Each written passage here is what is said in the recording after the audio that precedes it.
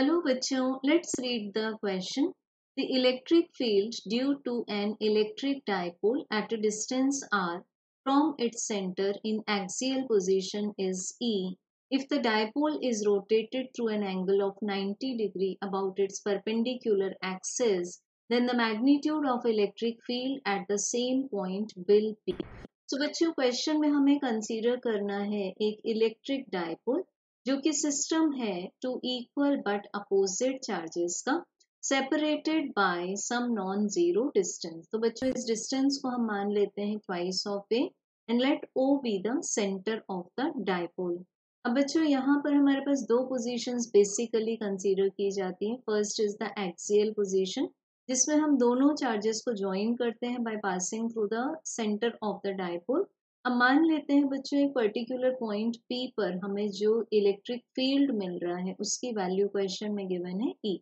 अब क्वेश्चन की next condition के अकॉर्डिंग हम इस डायपोल को इसके परपेंडिकुलर एक्सिस के अबाउट तो इसका परपेंडिकुलर एक्सिस क्या होगा basically that is called as the equator so इसके अबाउट जब हम इसको 90 डिग्री से रोटेट करते हैं बच्चों तो ये पी पॉइंट कहाँ पर आ जाएगा?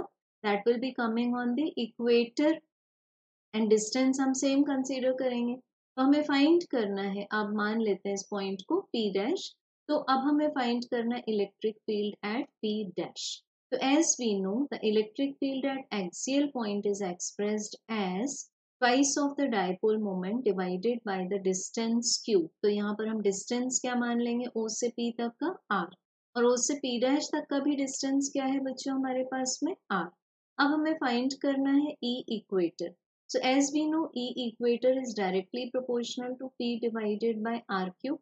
तो अगर हम डिवाइड कर दें इक्वेशन नंबर वन को इक्वेशन नंबर टू से तो हमें E at point P dash यहाँ P डैश एक इक्वेटोरियल पॉइंट है। इसका आंसर क्या मिल जाएगा? E axial divided by two means half of E axial जो कि गिवन है हमें क्वेश्चन में E तो हमें E at P dash point मिल जाएगा half of E So correct answer is option number C.